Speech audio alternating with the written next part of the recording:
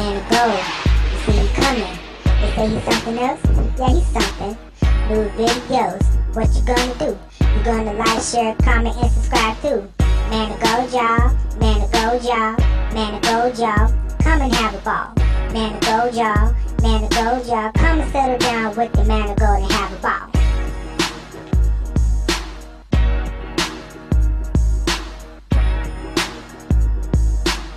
What's up, Golden fam? It's your boy, Man of Gold. I'm back with another video on today. So, if you're new to my channel, welcome to the Golden family. Also, don't forget to like, comment, share, subscribe, and don't forget to click that bell. I mean, click that bell. I mean, click that bell, baby. So that way you won't miss any more content that I have that is on the way coming. So, without further ado, let's just go ahead and jump into this video.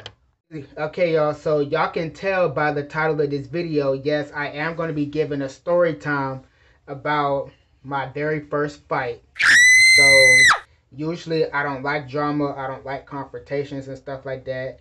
So, for this story time, grab your snack, get comfortable, lay on back, and we'll get into the story time.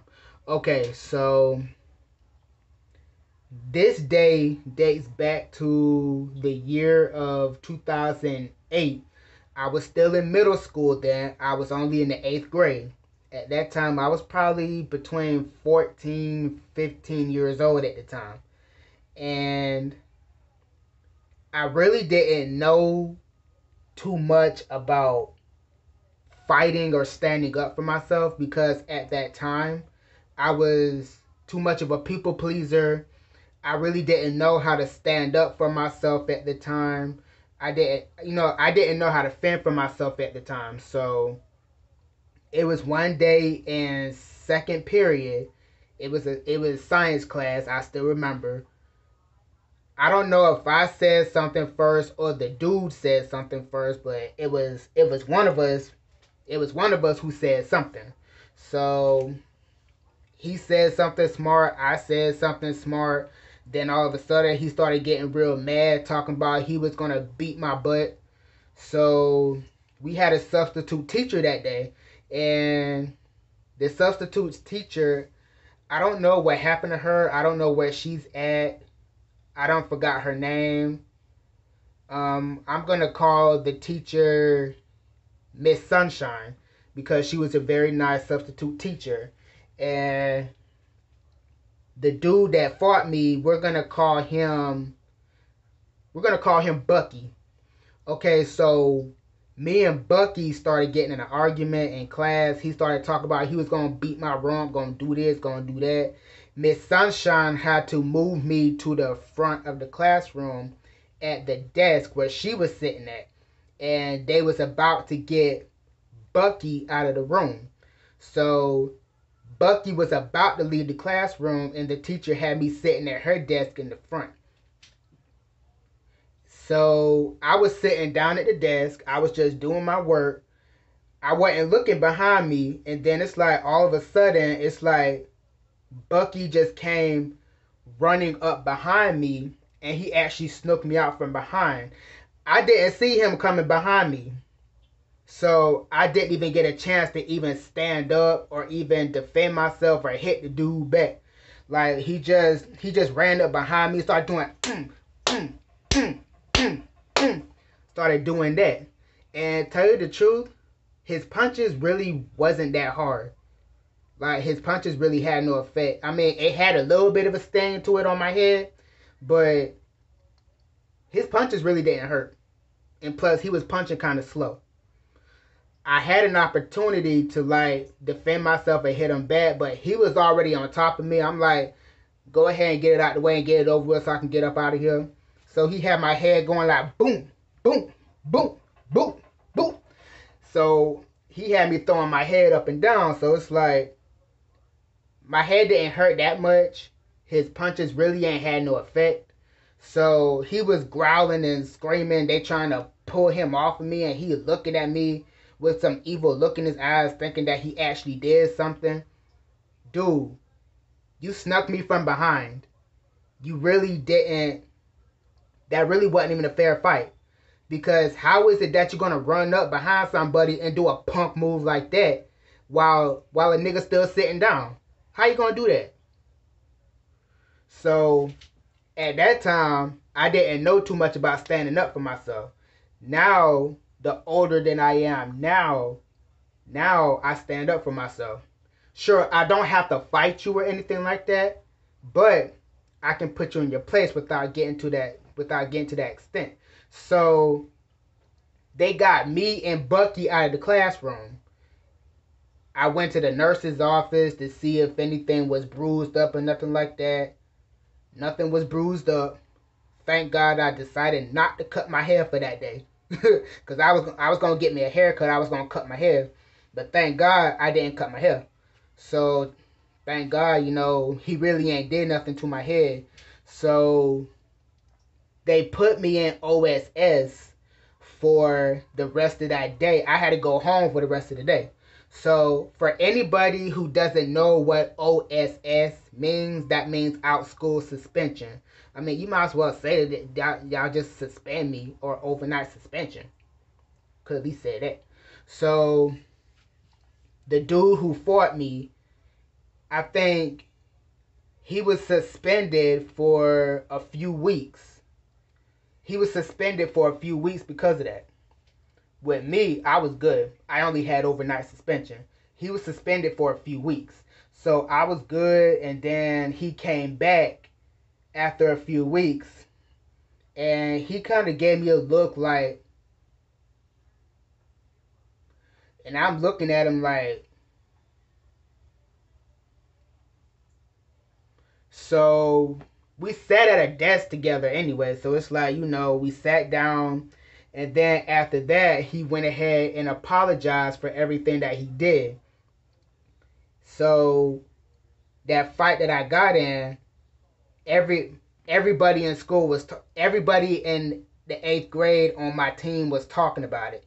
Everybody was saying, "Oh, oh, you got you got your you got your butt beat by Bucky. I can't believe you got your butt beat and this and that." I'm like, "Hey, call it what you want it. Sometimes you win, Sometimes you lose. That day, he just happened to sneak me while I was sitting down. That was the only reason why he won. So, I talked to one of my cousins about it. He said that wasn't even a fair fight because what Bucky did to you, that was a punk move that he did because he actually snuck you while you were sitting down. Everybody was saying I got my butt beat. Yeah, I guess you can say nine times out of ten, yeah, I kind of got my rump handed to me. So at that time, I didn't know too. I didn't. I didn't know too much about standing up for myself. I didn't know how to stand up for myself.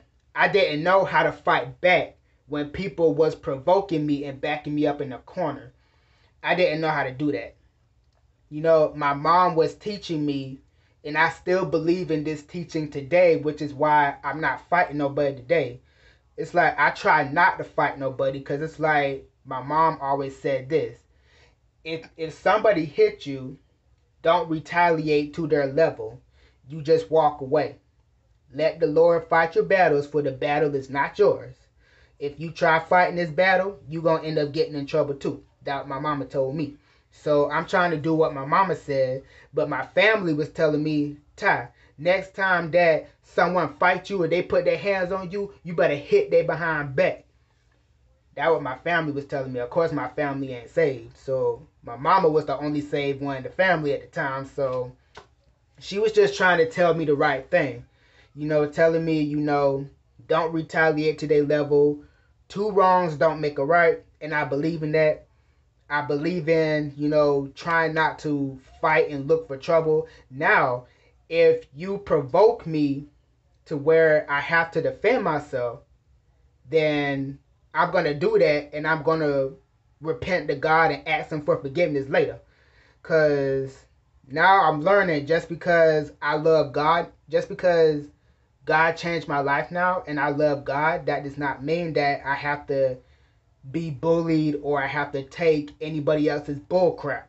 That don't mean that I have to do that.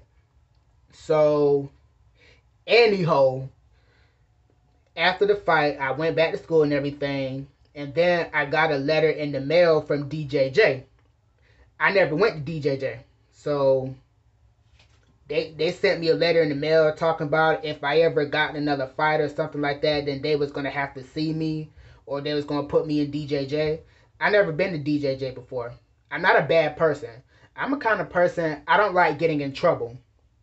Like I hate drama. I hate you know all this other bull crap that's going around. You know confrontations. I don't like that. I keep myself out of the equation with me, I'm like a good person. When I was when I was younger, I was like I was like a goody two shoes.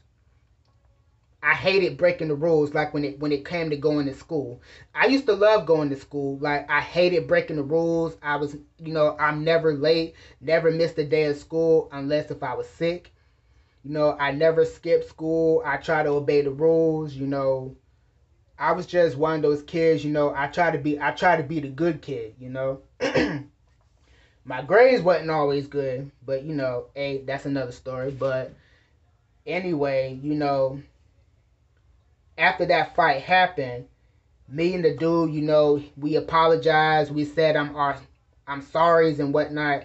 But then after that, I was still kind of mad to the point where I said I wanted my round two.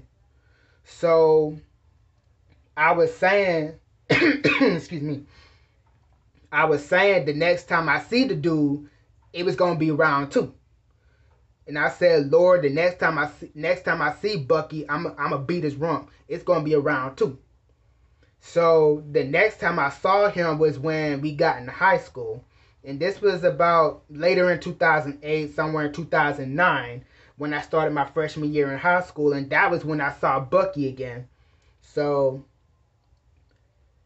I was gonna run up on Bucky I was gonna run up on him, but then the spirit told me, no, don't you run up on him.